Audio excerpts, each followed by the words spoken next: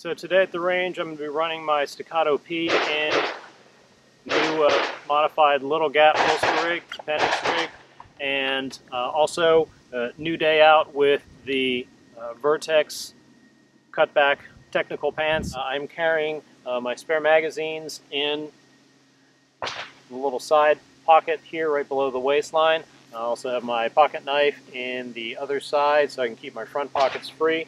Uh, there's a cool little pocket here for your keys. Uh, the, the pants are, are super light, so uh, looking forward to, to being able to wear these. It's always summer here in Florida, so I always got to be thinking about summer weight pants. So uh, we'll get to it and uh, run through some drills and see how these work out for me.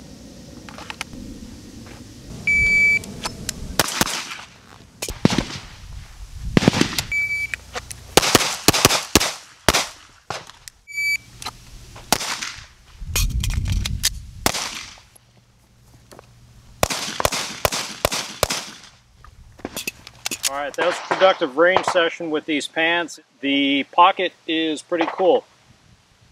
On the clock, I'm of course slower. Uh, it's a kind of a more of a deep concealment kind of thing, like you uh, will not be able to compare uh, an open top exposed belt holster to say this appendix holster because it's going to be slower of course.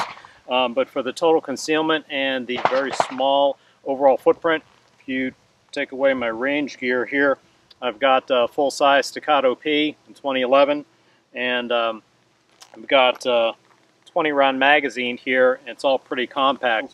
Vertx cutback technical pant, like them a lot. You'll be me wearing these a lot more on the range.